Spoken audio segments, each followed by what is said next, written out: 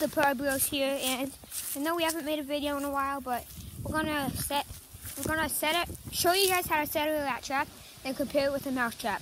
See you then. Bye. Hey guys, we showed you how to set a rat, I mean a mouse trap, right? But we haven't taught you how to set one of these yet. So, so it's just gonna be a little harder. By that, I mean way harder. Because obviously there's a difference. This one's way bigger. The coils are way bigger. And it'll hurt much more. It will break your finger if you mess up. Yep. Okay, guys, we're just gonna bring the bar back. Make sure it's in air, because if it's on ground, it could actually snap your finger. But if it's like this, it's a little easier. So this is called the kill bar, arm bar. The arm bar over the kill bar. Put the arm bar right where this crack is. Do you see that? And release it slowly. Guys go. Set rat trap. and we're going to show you what the difference is.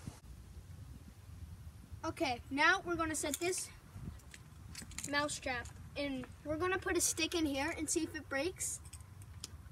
A pretty big one and we're going to put a stick in here and it's definitely going to break. So you guys, you definitely know how to set a mouse trap because of our last one. But if you haven't seen it, you don't know. Okay, you better watch it's the same as the rat trap. Yeah, just Bring the kill bar back. make sure you watch that video because it's a little different. But Bring the arm bar over the kill bar.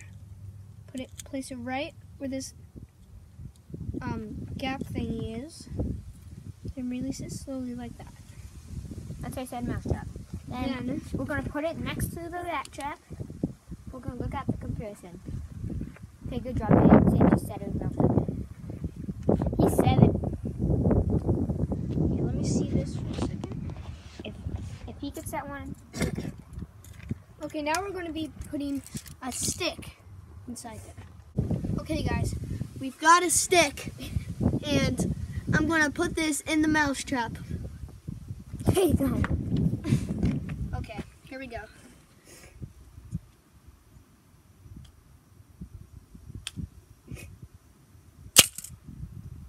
Okay. Okay. Did nothing. Probably because I did it at the end. Okay, I'll do it. Another one. For some reason, we just want to do two mousetraps.